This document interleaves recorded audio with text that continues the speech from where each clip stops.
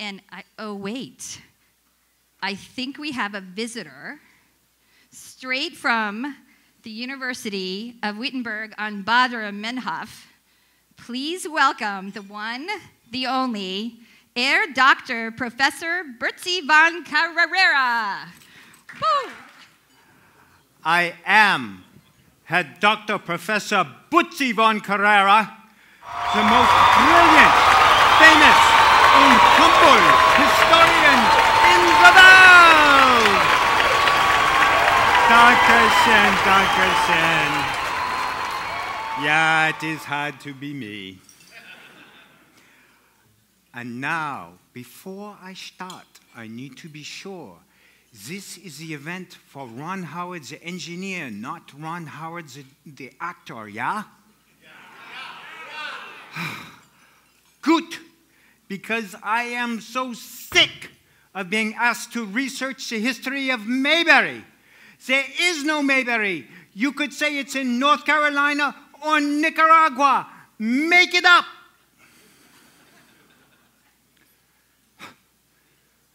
And now I will deliver my talk, what is called Ra Ra Boom Ra, the contributions of Ronald Howard. Now, when we talk about Dr. Howard, we know that he is standing on the shoulders of giants. On brevity prevents us from going through who all the giants are. but if you are anyone who has ever done your homework, then you know who these people are.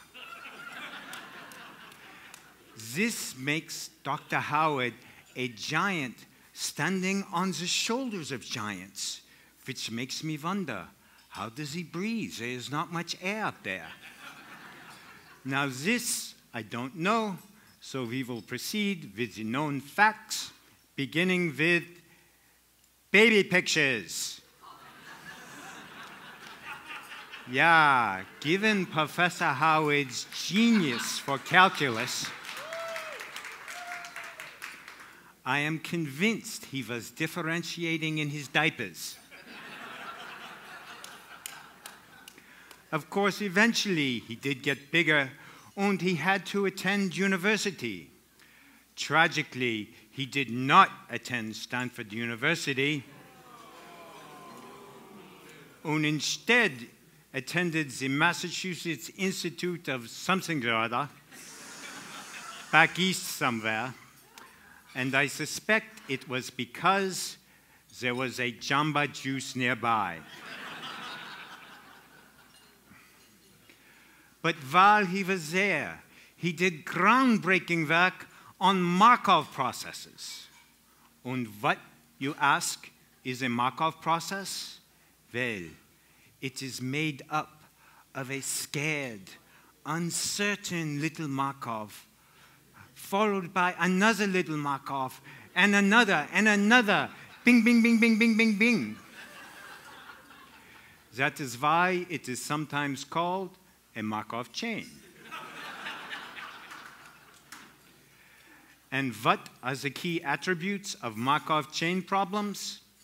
First, each link has multiple possible states. The transition from one state to another and from one link to another are uncertain. Second, the best decision depends on these uncertainties. And last, it is uncertain that anyone really needs to go to this much trouble.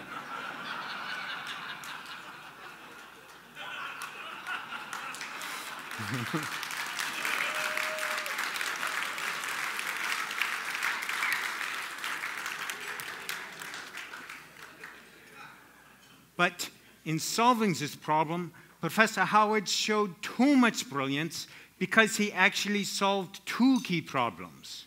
The first one was decision making in uncertain multiple state processes, what was written up in his dissertation, Dynamic Programming on Markov Processes, later published as a book.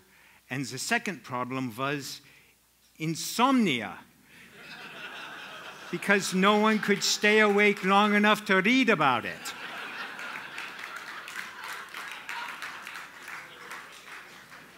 Now, this was very handy when my boy Trey was just a little one, because I could put him right to sleep with a passage like this one. In this expression, S is a stochastic matrix whose ith row is the vector of limiting state probabilities if the system is started in the ith state, and T of n is a set of differential matrices with geometrically decreasing coefficients.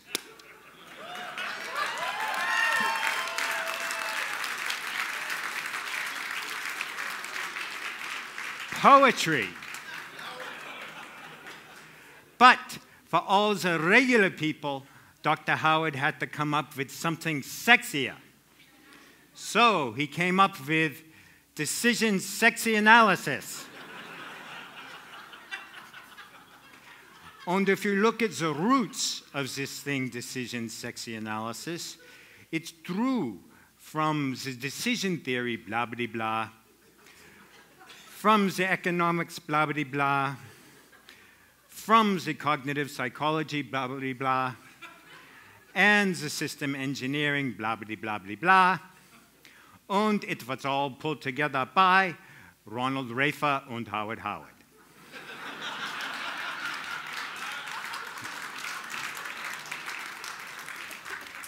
and if you look at the elements of a good, sexy decision, first, there is alternatives what your boss wants you to do. Second is information, including information on key uncertainties, like the chance your boss will screw up.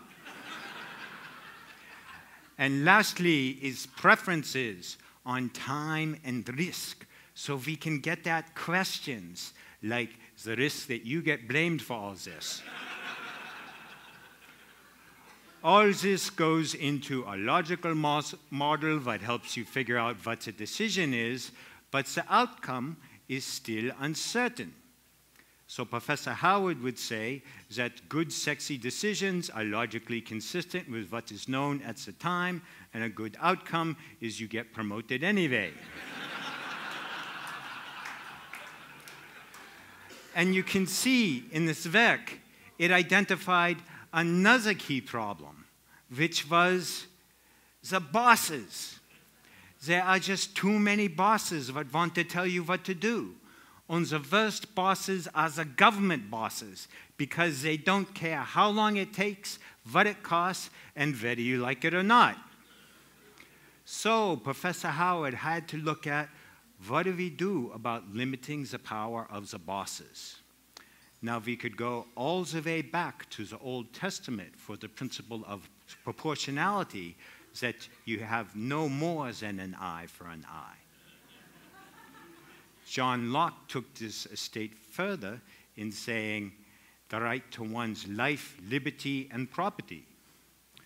Professor Howard would summarize it as peaceful, honest people have a right to be left alone.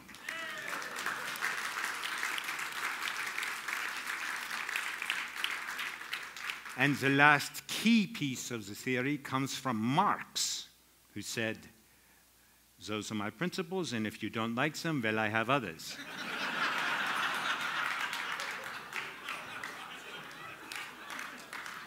and you ask, how would this work in practice? Well, people would be free to do whatever they want so long as they honor their agreements, don't mess with others' persons or property, and matters are handled through voluntary property rights and agreements rather than by the government. Sounds great, yeah? Yeah. yeah. But, you ask, could this actually work? well, there is one place but is so dedicated to the idea of liberty that they have erected a big statue to liberty. And that is Las Vegas.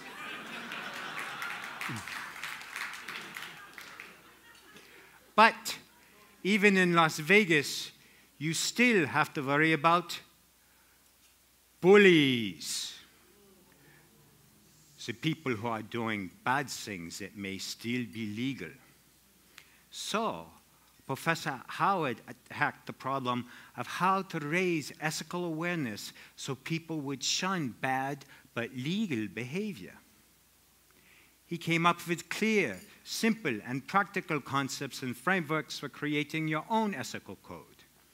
He suggests that you consider possible ethical dilemmas ahead of time, that you talk to others about your ethical dilemmas, and last and most important, use herbal supplements.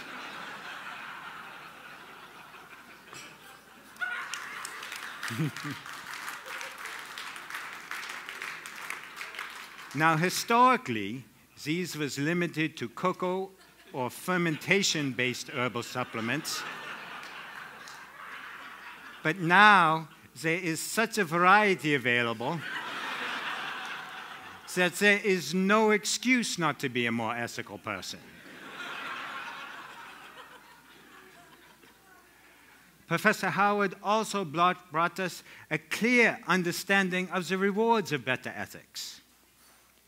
You will be happier, people will love you more, and less ethical people will all the time try to screw you in the bum cheeks.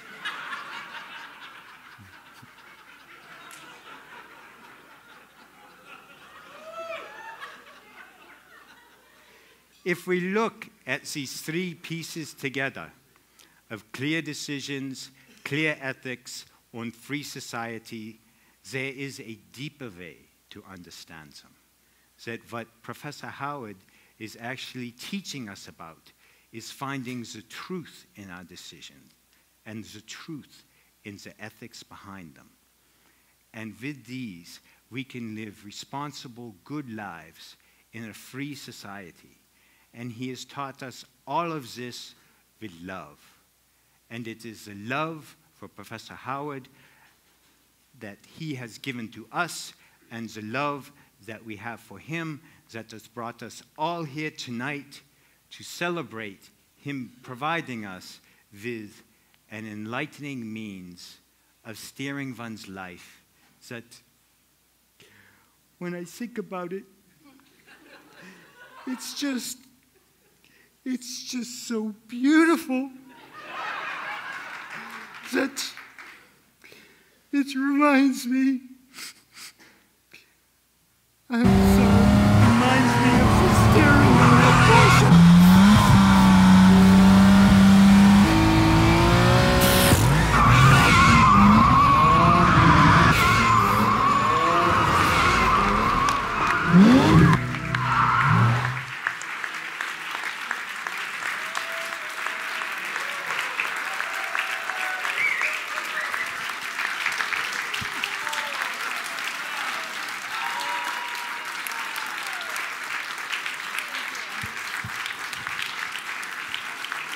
And so, I talked to the people at Porsche in Stuttgart who really know something about getting somewhere, and I'm pleased to present Professor Howard with the Stuttgart Steering Award for an enlightening means of steering one's life. Yeah, it's a real Porsche steering wheel, and it's engraved, so we don't forget what it's about. So, everybody, please give it up for Professor Howard, who is living for love.